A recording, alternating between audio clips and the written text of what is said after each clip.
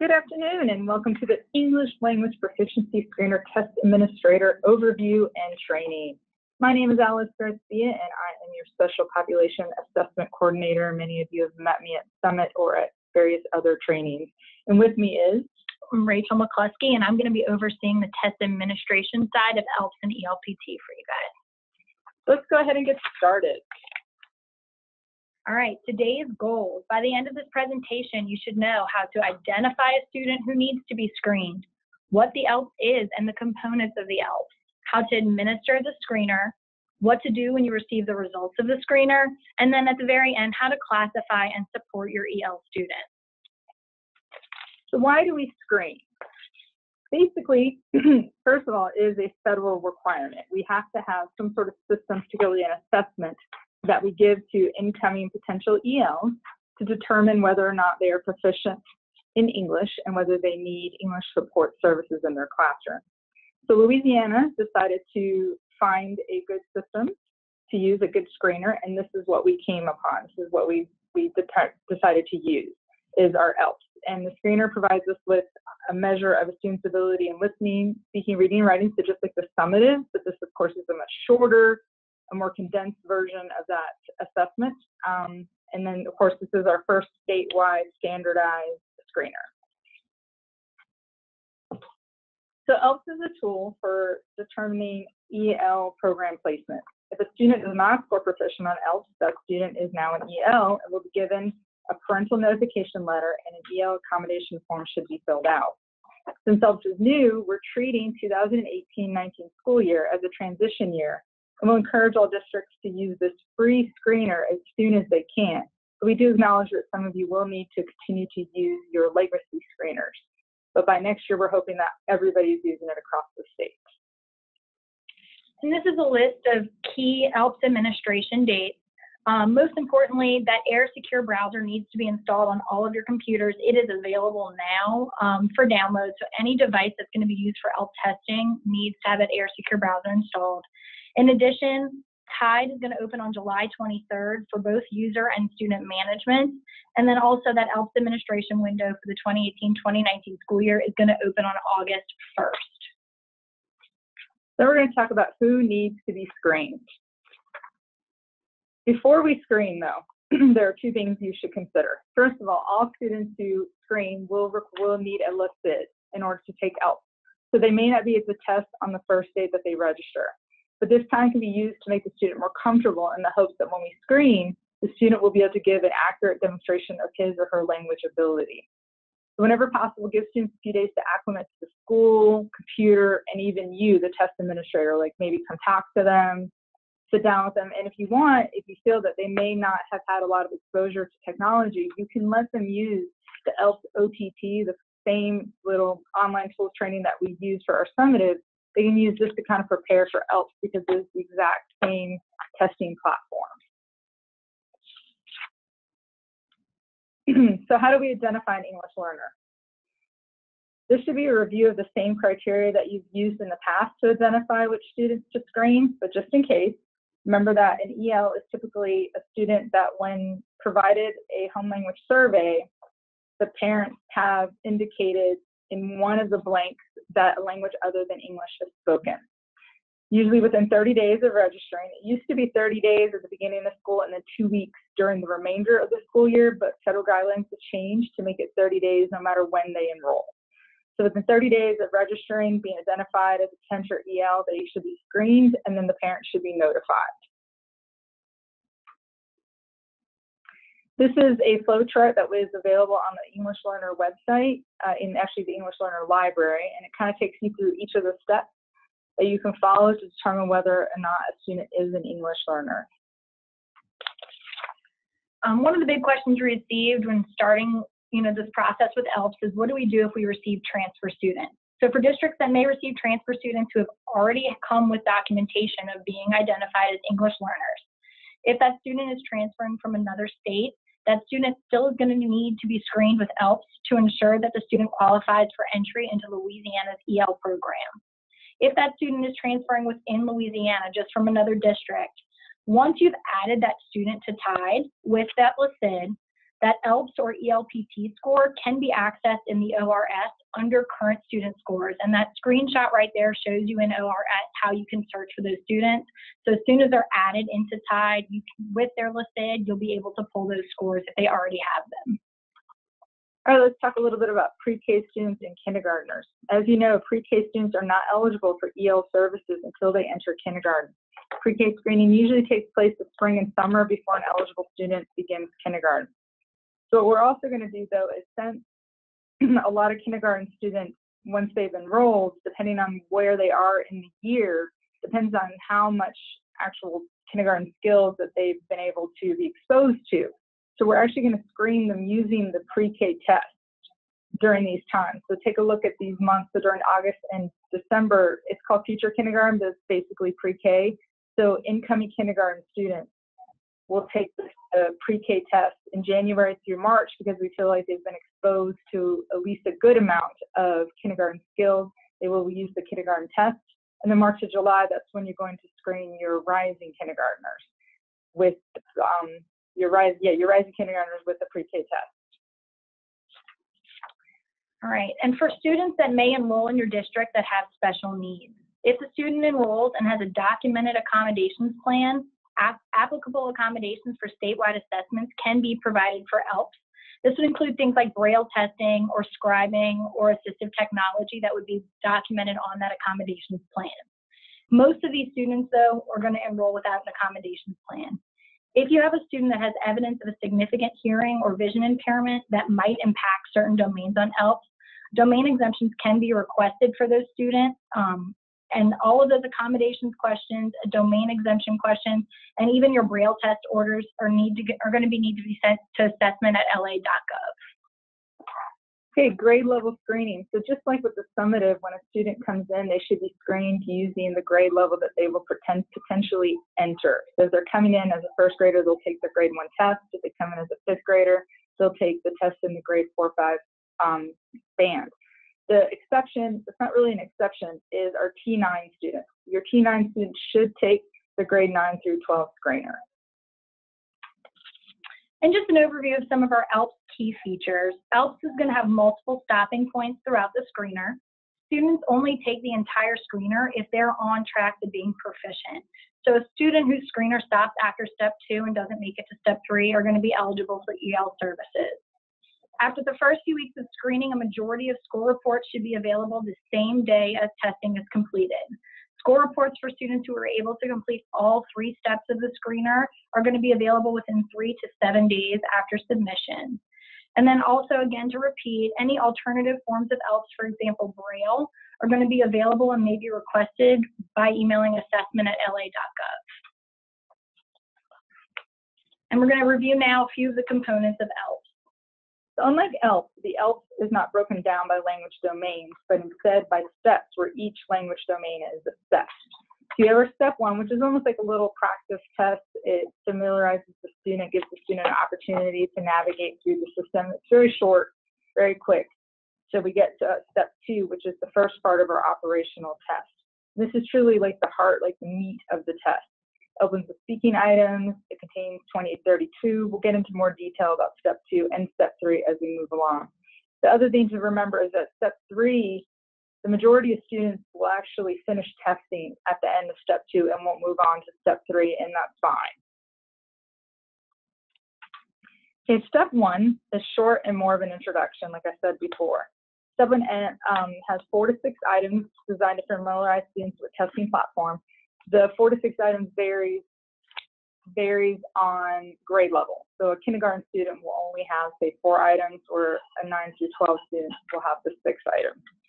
Then we have three to four items to determine students' comfort with technology. So they'll have some of those drag and drop, those technology enhanced items that they can practice with, because those are what they're going to see when they get to step two and potentially step three. And it does include two practice speaking items, because we want students to have the opportunity to practice speaking into a microphone and recording it in the actual testing platform.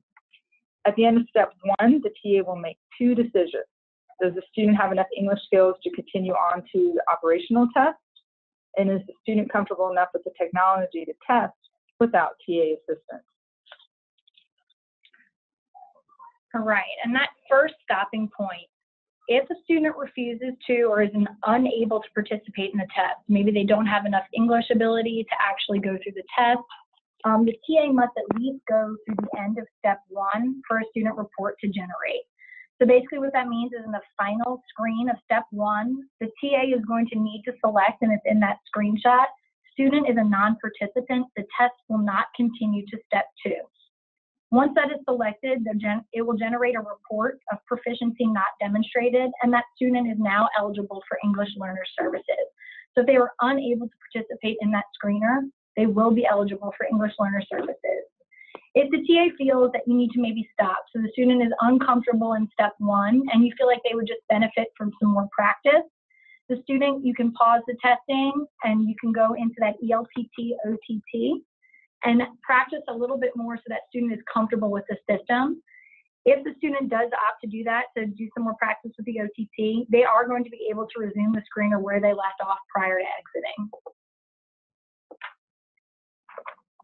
All right, step two, this is the first part of the operational test.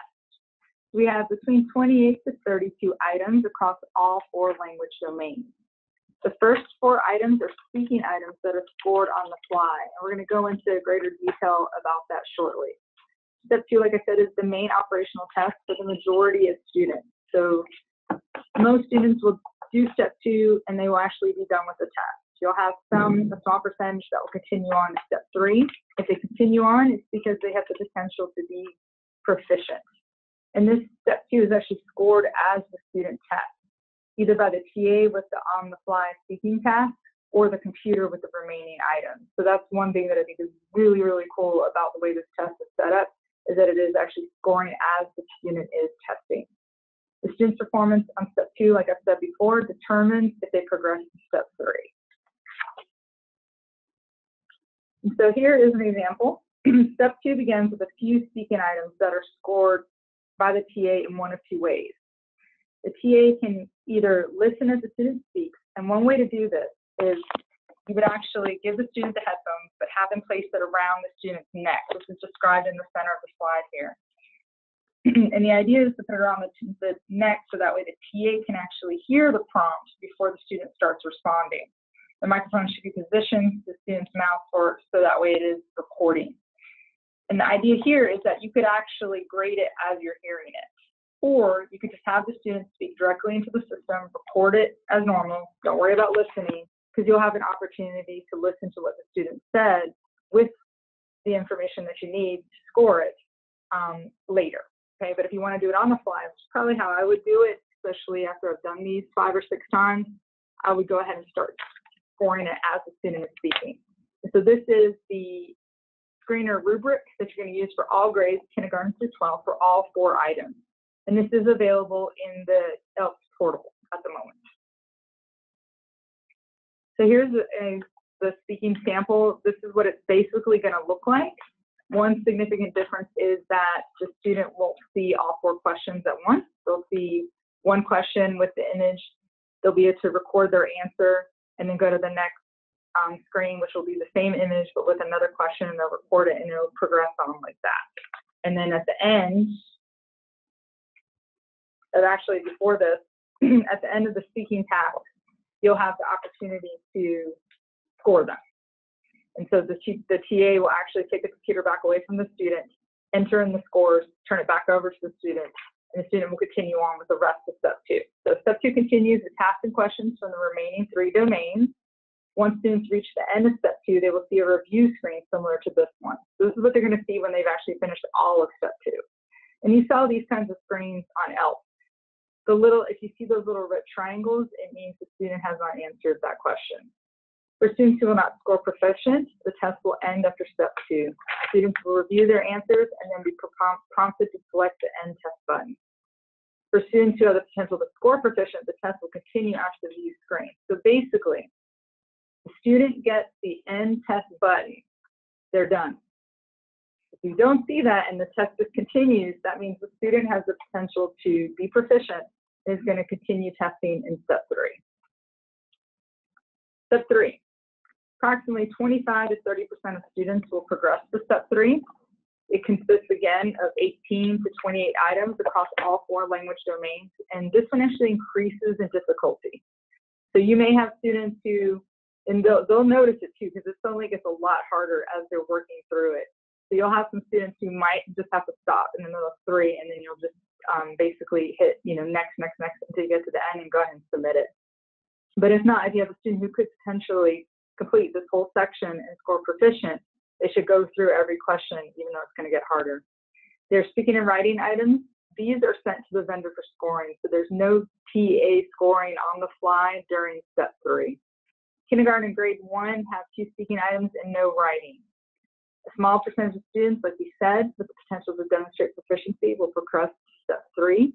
Score reports for these students will be available three to seven days after the screener is submitted and high school students are given priority scoring. So they, whenever their tests come into the vendor, the vendor jumps on those very quickly and tries to score them and get them back to our test site as quickly as possible. Here are the suggested times for testing. I do expect some variations, especially in the first few weeks, as you adjust to administering the new test. So as you see, I've given a lot of different kinds of screeners this one potentially has could be a very quick screening process, depending on how much English your student has, or even if they are going to score proficient. I was used to giving screeners that took two days. So I really like the fact that this one is going to be, should be, doesn't have to be, but should be a one day process. All right, everybody's favorite part, the actual administration of the ELP. So I know we have a lot of different roles on here, so I'm just going to do a quick overview of the ELPS administration systems. All of these systems and documents are going to be very similar to the ones you'll have for ELPT. Some of them will also be both for ELPT and ELPS. So again, all the systems are exactly the same as ELPT. You have TIDE where students and users are managed, and then you can also manage assessment completion and your appeals through TIDE. You have your TDS, which is used by TAs to administer ELP, and then also that Air Secure browser where students take ELP. You have the ORS is where you can view and download student assessment reports. And then your DEI, which is going to be used when you're entering students' um, responses if they're using an accommodated form like Braille. And then the administrative documents, again, are the same um, as ELPT. There might be a few variations and they're all posted in that ELPT portal under the ELP section. So first you have your TIDE user guide, um, which again just reviews the user and student management, screener status management, and the appeals process. The TA user guide, which will give an overview of how the TA and student will access ELP. And then the ELPS TAM will provide specific TA instructions for administering ELPS, and that includes that script for the TA to read as the student is screening. And there are a few other ones. Um, that ELP step two speaking scoring document Alice just reviewed. That's posted in the portal. Um, every TA should have that printed out as they administer a screener to a student. And then just a few others, the ORS manual, the DEI manual, and then accessibility and accommodations manual are all available for you in that ELPT portal under the ELP section. And just a review, so you have some technology documents for downloading that um, secure browser and making sure all your system requirements are ready to go. These should be shared with your technology coordinators and all are posted under that ELPT portal under the technology coordinators manual. You just want to make sure that everything with tech is ready to go come August 1 when that screener opens. All right, actually setting up to administer the screener. As we know, ELPS is taken through AIR. It's the same portal, that same system that we use for ELPT. Um, and prior to testing, as I said before, that Air Secure Browser must be installed on all of your devices. Um, the Secure Browser installation manual is what you should reference for how to for directions on downloading it. Um, and then TIDE you'll use to administer to manage your test administrators, your students, and their accommodations both this year, district test coordinators and student test coordinators will have permission to add and upload students in TIDE. So I know in previous, last year we only had that as a permission for district test coordinators. This year we will allow school test coordinators to add and upload students, which should take a little bit of the load off your district test coordinators. Um, the biggest change here, students must have a LASID in order to be entered into TIDE. This may require a change in how you register students um, who might qualify for EL services, because I know a lot of districts screen as soon as a student registers. To actually take ELPS, they're going to need a LASID to actually be entered into TIDE and take ELPS. Um, students will also need headsets with those microphones, the same exact procedure as ELPT. And then at, before you screen, have your tech people make sure that pop-up windows and microphone settings are enabled on all devices. Um, so just make sure you're coordinating with your technology coordinators so that everything is set up and good to go. And because I know we have some district test coordinators and school test coordinators on this call, adding users to TIDE to manage testing. So this is anybody who needs access to reports and anybody who's going to administer the screener. Um, beginning July 23rd, TIDE will open for test setup for the 2018-2019 school year for ELPS. DTCs, you'll receive an email to set up your account. From there, you can go in and add your STCs and add your test administrators. And our available roles for ELPS are the same as ELPT. You have your district test coordinator, school test coordinator, and test administrator. So adding students, same exact procedure, except when you go through to do accommodations, it will be script, split screen for ELPS and ELPT. Again, this year, district test coordinators and school test coordinators will be able to add and upload students. I know a lot of you are probably excited about that, but they have to have a LASID before you enter them. Um, if they enroll with an accommodations plan, you'll be able to put it in as you upload the student into TIDE. And this one's important. I know a lot of people didn't utilize the ELPS testing tickets for ELPT because some students were familiar with their LASID. But for ELPS, since these students are new enrollees, they likely will not have their LASID memorized. So testing tickets are probably something you'll want to take advantage of. The testing tickets will have their LASID and have their name on it. Um, so basically, when they go to log into test, they'll need their LASID, their first name, and then the session ID created by the TA. If you'd like to utilize that test ticket feature, they can be printed in TIDE by a district school test coordinator and STC um, under that administering test portion of the TIDE site. Moving on. So for our actual test administrators, um, test sessions must be created less than 20 minutes prior to starting ELPS to prevent the system from timing out.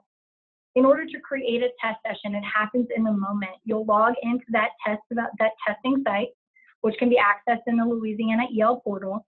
And then when you log in using your TIDE username and password, you'll select the grade band that you're going to be using to administer the screener. From there, a session ID will automatically pop up on your screen, and that little screenshot with the red arrow is an example of what that session ID will look at look like. And you'll provide that session ID to the student screening. Um, so that session ID will be a portion of how they log into that Air Secure browser. And then just below, we have those grade bands listed for you for what they need to take. So once you select your grade band, you'll provide that student with that session ID, and that student can log into Insight using their first name, their student ID, which is their LASID, and then that session ID that you create in the moment. Um, the TA, you'll then have to go back to that testing screen and approve the student to test in the TA interface. So you'll just get a little pop-up window saying somebody is requested to test, and you can click that you approve them to test. Um, the student will be required to do an audio and recording check prior to taking ELPS. So just make sure that the microphones are working and that the um, headset is working to the volume that they want. Um, and then the biggest thing for this is if you log into the screener after that student accesses ELPS, if four days have gone by and for some reason you've paused this test or not completed it, the test is going to auto submit. So the student logs into the test after this and takes, you know, takes a few steps and maybe stops and pauses for some reason. It's just important to track to make sure that that student does complete the test after four days. And after that four day window, the test will auto submit and be scored. And then this chart just provides a little review of the steps that Alice already reviewed. So I'm not going to go over it too much. This is just an overview of the steps that we discussed in previous slides. All right, so once we've completed the screener, what do I do with the results? Well, first, this is what our results are going to look like. They're going to look a lot like the reports that we received from ELF. And they're going to give us some of the same information. Remember that students have to attempt at least one question, okay? And remember that's for those students who are refusing or are unable because they have such limited English. You should still take them through step one, take them to the end and submit it and then they will get a report, okay? So the re- reports will show an overall proficiency status, and this will help us determine their EL eligibility, and then also give us their domain performance levels. And this we should use for instructional planning. We also want to make our parents aware of how their students did on this test. So continuing with the results, fundamentally, the results are used to determine placement into the EL program, but since we will have a more detailed report of the student's language abilities in our four domains, we can also make some decisions about what kinds of support the student will need, and that is what this slide describes. Be sure to refer to our Louisiana connectors for L because it does correspond with the results from this test. So if you have a student who has scored a level one in, say, speaking, look at the standards that coordinate correlate with that with the speaking portion of the test and that'll kind of give you a list of things that that student should be able to do. And this is the kind of information you're going to want to provide to your content teachers. So these are proficiency levels.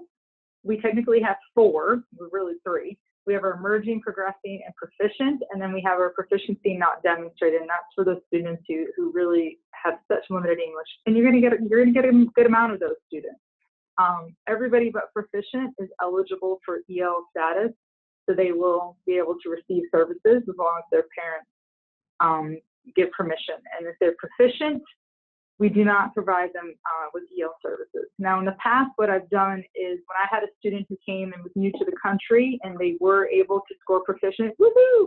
A lot of times I would just sort of check in with them because even though they may have the English, they may not have the familiarity with the school system and how things work. So a lot of times I would just say, hey, you know, these are the people you want to talk to if you have questions about how school works. So just that as a courtesy, you might consider doing something like that. So how do I classify a student as EL? Well, once they've taken ELPS and they have not scored proficient, they are classified as an English learner.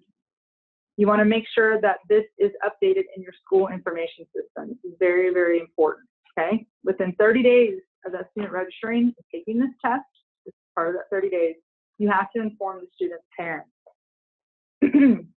this right here is a screenshot of our newly updated EL parent notification letter. This is, of course, a recommendation, but not a requirement that you use this letter. Your district may already have one available, but this letter is in the English Learner web, uh, English Learner library, and it is in a Word document so that you may take it and edit it as needed. It is available in English, Spanish, Arabic, and Vietnamese, and it has both ELP and ELF information on it.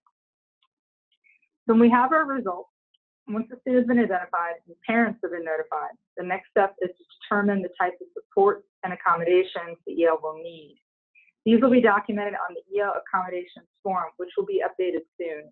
All students, this is important, okay, all students, even those where the parents have not granted permission, are required to have an accommodation form filled out.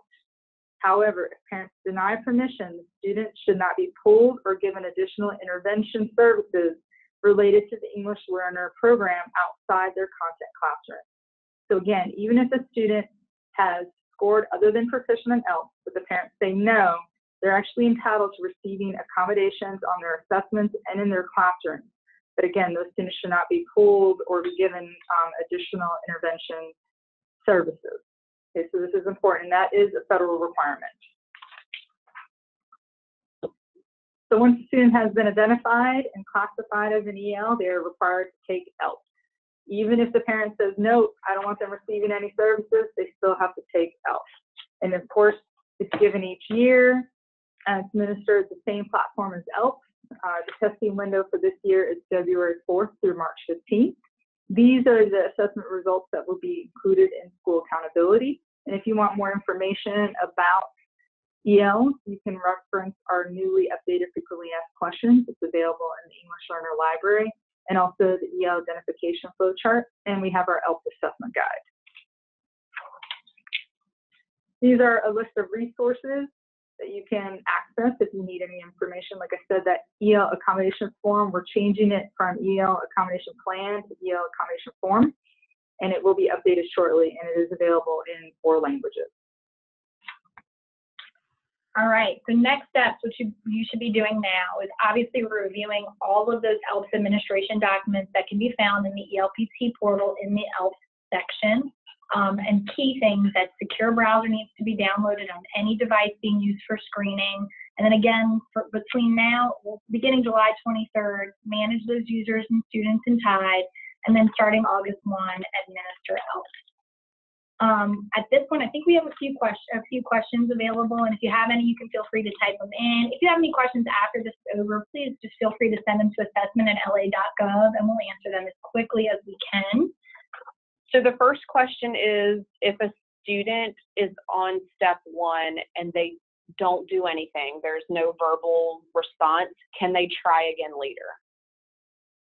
If they pause it, you can, but that's when you should probably pause it and let them practice with the OTTs and then come back to it. I wouldn't let much time pass though, because it does have an auto submit. But of course, do try to determine whether that student is literally unable, like they just don't know anything, they, they don't have enough English, or if they're just completely petrified and terrified of the situation. If it is more of a I'm scared, I don't, I don't, I can't do anything right now, then yeah, practicing might help. If it is literally I don't even understand you say hi to me, that student's going to be an EL. I would just go ahead and go to the end of step one and submit it and get that student report and get them going on getting those accommodations and support. The next question is Can I use the same devices I used for ELPT last year to administer the screener? Well, you sure can. I hope that makes you happy. So it's going to be the exact same portal that Air Secure Browser. Nothing new needs to be downloaded. And then as long as your TA has a separate device they can use to kind of launch that testing site and get that session ID, you'll be good to go. Um, we have another question asking about where to get this presentation. So it is currently posted in the English Learner Library and in the Assessment Library. It's also being recorded right now, so the recording will post in a few days, um, and that'll be in the YouTube account. The next question is, can reports for ELPT um, be pulled by school instead of each individual student? So actual individual student reports can be pulled by school if you go in under the school reports section of the ORS. However, prior to the next administration of ELPT, they will hopefully be making some ORS changes that'll make this a little bit more user friendly for you. But for, yeah, for ELPS, because it's going to be more of an individualized test, um, it's probably best to pull those reports by just using that search for listed function in ORS. And all of that's outlined in that ORS user guide. All right, I don't see any other questions. Thank y'all so much for joining. Again, this presentation is in the assessment library and in the English learner library, and it's also being recorded. We'll send out the link in the weekly newsletters, and um, you can also access it just by going to the LDOE YouTube account. So that should be up in about five days. If you have any questions, please email them to assessment at la.gov. Thank you.